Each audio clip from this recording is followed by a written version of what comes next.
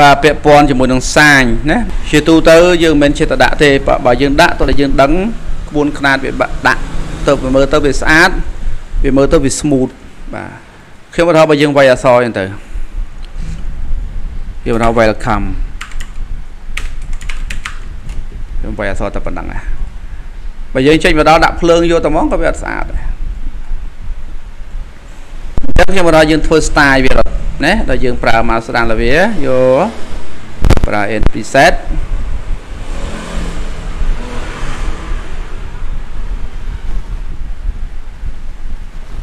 យក text ក៏ខ្ញុំយកអានេះចុះណាចុចពីរដងលើវាទៅចានេះបើលឿនពេកយើងពលាកន្លែងនេះ text parameter ត្រង់កន្លែង range selector នេះកន្លែងនេះនេះបាទចូលមកបើយើងចង់អាហ្នឹងវាបានស្អាតរៀង blur បន្តិចយើងសេរីត្រង់កន្លែង blur នេះដាក់ចេញមកនេះបាទច្បាស់ពេកគេវាអត់ស្អាតយើងដាក់ blur បន្តិចរត់ចូល blur blur គឺស្អាតនេះបាទឥឡូវខ្ញុំដាក់ត្រឹមប៉ុណ្នេះខ្ញុំជិះអក្សរ n ដើម្បីកាត់ចង់ឲ្យវារត់ទៅក្រៅវិញណាចុច copy លើអា key frame នេះ control C ដាក់នេះ control V យើងទានេះមកមុខវិញទានេះទៅក្រោយវិញខ្ញុំ render ចូលចាញ់តែជាទូទៅគាត់មកពាក្យ welcome អញ្ចឹងគេមិនដែលដាក់យូរទេគេដាក់ខ្លីទេអាហ្នឹងគេធ្វើឲ្យត្រូវគួរខ្នាតបើគេមិនដាក់អង្គុយមកសទុះទេមនុស្សមើលតែមកភ្នែកភ្នែកទេណាអឺ welcome ហ្នឹងចេញមកវិញណាតាមពិតអានេះចង់យូរអានេះខ្ញុំធ្វើឲ្យស្អាតឲ្យរៀនចេះធ្វើឲ្យគួងខ្នាតគេធ្វើ standard promote sport ស្អីគេគេធ្វើយូរណាធ្វើបន្តិចបន្តិចឯងដាក់ហើយតែប៉ុណ្ណឹង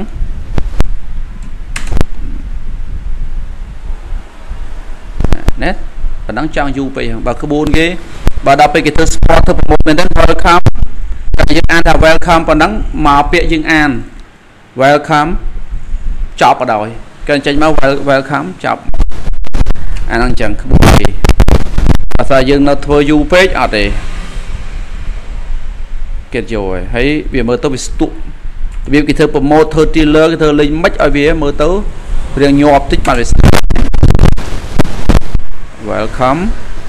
ចេញមកវិញមកណា អញ្ចឹងអាហ្នឹងនៅពេលយើងចង់បានស្អាតចង់បានអីយើងចាប់តាមឆ្នៃអក្សរយើងស្រេអញ្ចឹងហើយណាយើងឆ្នៃអក្សរមកដើម្បីយើងចង់បានវាផុសវាអីតិចតួចយើងចូលលើ effect យើងយក perspective យកនេះ bevel alpha នេះយើងព្រីអក្សរទូមើលនេះស្រីឡើយនេះអក្សរវារៀងឡើងផុសបន្តិចណាបាទអូខេណាដល់ស្តុកក្នុងត្រង់កន្លែង character នេះ ស្រុកវានៅក្រោមនេះណាបាទចាំពោអីស្រីមកស្រីនេះស្រីមកចូលក្នុងអសអត់ស្អាតទេត្រូវស្រីឲ្យវាចេញនៅក្រៅអសអញ្ចឹងដើម្បីឲ្យកាន់តែស្អាតទៀតយើងស្រីយើងបិទអានេះឲ្យវាវាឃើញផ្ទៃ background នេះហើយយើងដាក់ shadow ណា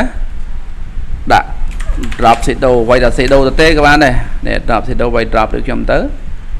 ចាប់ទាញយកមកនេះឲ្យវាចេញស្មោ សមោចាញ់ដិតខ្លាំងស្រីឡើយនេះចាំវាសមោរៀងព្រាលព្រាលស្រីខ្លាំងកន្លែងសោះនេះនេះនេះបាទនឹងបាទវាយកទៅដាក់លើ background ឬយកលើដាក់ផ្ទៃការងារអីផ្សេងវាមើលទៅវាអត់លេបអក្សរយើងប៉ុណ្ណឹងអូខេជំរាបបន្ទាប់ដែលយើងចង់ធ្វើនោះគឺសាញរបស់ tape code ដែលយើងចូលលើនេះ RG tape code នេះប្រើសារយមណៈមកចាប់ទាញយកដាក់លើហ្នឹងនេះពេលចេញអញ្ចឹងអញ្ចឹងពេលចេញអញ្ចឹងមិនមែនចេញមកដល់គាត់ឲ្យលត់ចូលភ្លើងចេញមកអញ្ចឹងឯងគេស្អាតទេក្បួនគេណាអញ្ចឹងយើងពលាកន្លែងនេះពលាមើលនេះកន្លែងនេះកន្លែងដែលអសរត់ហ្នឹងណា key frame វាហ្នឹងណាយើងចាប់មកមុខបន្តិចមកនេះកន្លែងនេះប្រវែងពលឺអាហ្នឹងណាពលឺខ្លីទៅវែង បាទនេះសម្រាប់ boost line សម្រាប់ពលឺហ្គេមហ្គេមនេះឲ្យដិតខ្លាំងដិតតិចណាបាទអា color line នេះនេះ color line ខាងក្រោមពណ៌ណាយើងអាចរើសពណ៌របស់យើងបានស្រឡាញ់ពណ៌អីពណ៌អីស្រីមកចង់សេរីបន្ថែមចុចឡើងនេះបាទអូខេអានេះ color វាមើលទៅវាដិតវាមកធំធំដល់សចង់បានវាស្ដើង បាត់វាវិញពួកឯងត្រូវសេរីកន្លែង shimmer នេះណាបាទកន្លែងនេះឃើញទេវាចេះហើយបើយកអត់តសេរីទេវាចេញចេះណាអូខេ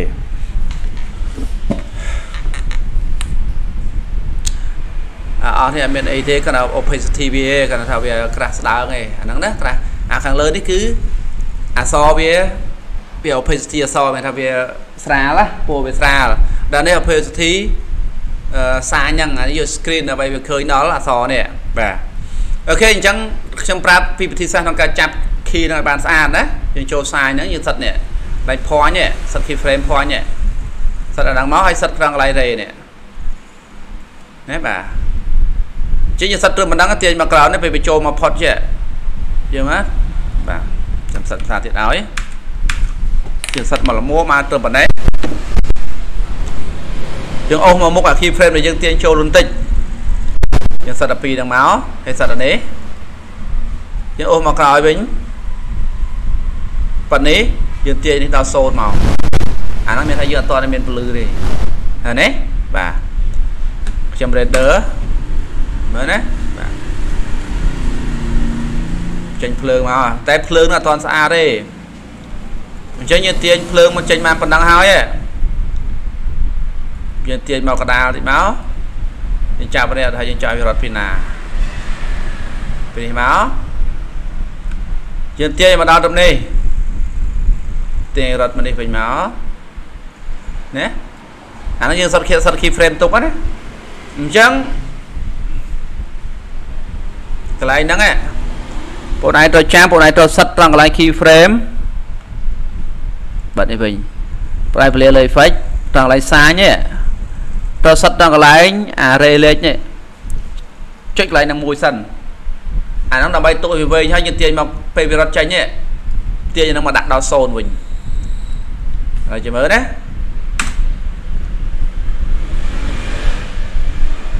ហ្នឹងចូលទៅ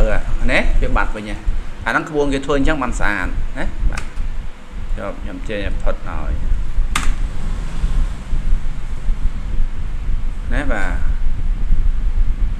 បួនគេធ្វើអញ្ចឹងបានស្អាតណាបាទចូលខ្ញុំចេញផុតឲ្យណាបាទបងប្អូនឯងចង់ឲ្យវាដើរតាំងពីដើមឡើយបងឯងស្រេត្រង់ឡើយសូសនេះចាប់ពីនេះមក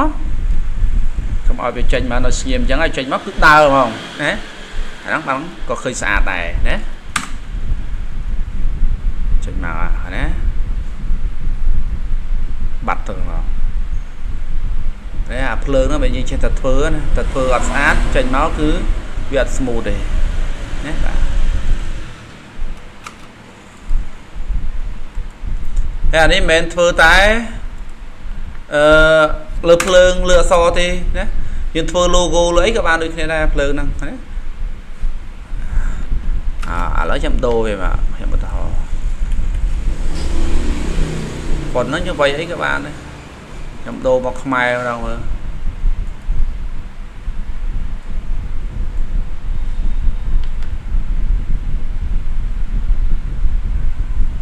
ខ្មែរ ឃើញកាន់តែស្អាតណាសរបស់យើង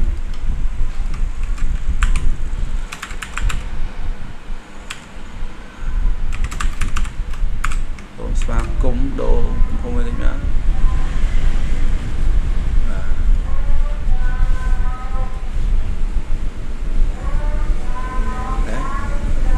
ត្រូវទៅសេវ័យអង់គ្លេសទៅវ័យខ្មែរទៅ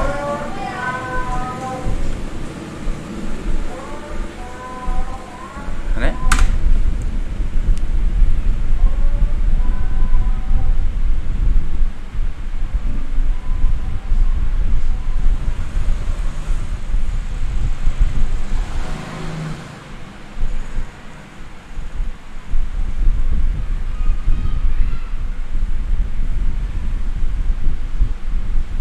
ខេចេះដល់មានប៉ុណ្ណឹងនេះជាកលឹះនិងបច្ចេកទេសក្នុងការធ្វើបាទហើយបើអ្នកខ្លះគេអត់ប្រើភ្លើងនឹងទេអត់ប្រើសាញទេថាខ្ញុំបិទសាញចោលអាសនឹងរត់ចូលមកដល់អញ្ចឹងគេប្រើ CC light sweep វិញទៅគេយើងចូលអាហ្នឹងដូចដឹងហ្នឹងអញ្ចឹងណា effect យក generate CC light sweep នេះបាទណាពលឺវាព្រីឲ្យខ្លាំងមកដុតមក ណែបាទតែពណ៌មក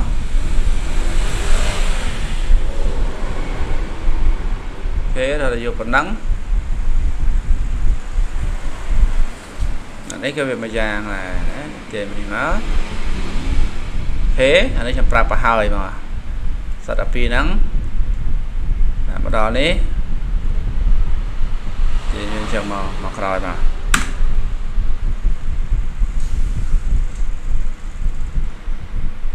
ហ្នឹង ក៏ស្អាតមួយយ៉ាងដែរអត់ប្រតិបតាញញ៉ាយ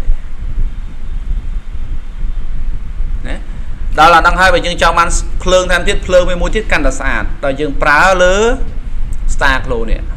ចាប់ star glow យើងមកដាក់លើហ្នឹងទីភ្លើងវានេះ star glow mode វាច្រើនណាស់ mode ចេះ mode ចេះស្រ័យលើយើងឆ្នៃឯងមានច្រើនក្នុងហ្នឹងហើយនេះពលឺវាចង់វែងយ៉ាងខ្លីណា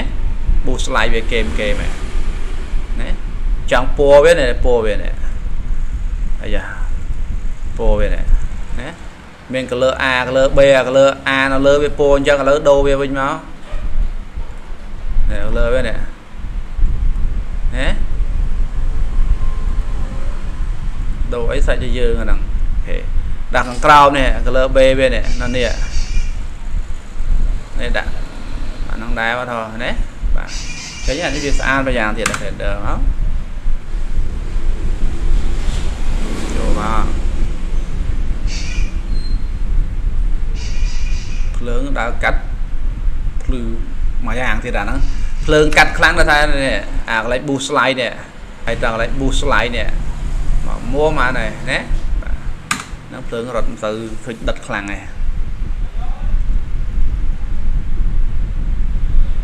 រៀបយើងឆ្នៃបើតែយើងធ្វើយល់ដឹងពីអាហ្នឹងយើងធ្វើតែបន្តិចតិចគឺឃើញស្អាតហ្មងអ្នកខ្លះក៏អត់ដឹងក៏បីតែសធម្មតាទៅអត់អត់ស្អាតទេអត់ចាប់អារម្មណ៍ទេហើយនេះយើងមាន ធ្វើអីច្រើនណាស់បីតែសអីមកគឺបានដែរ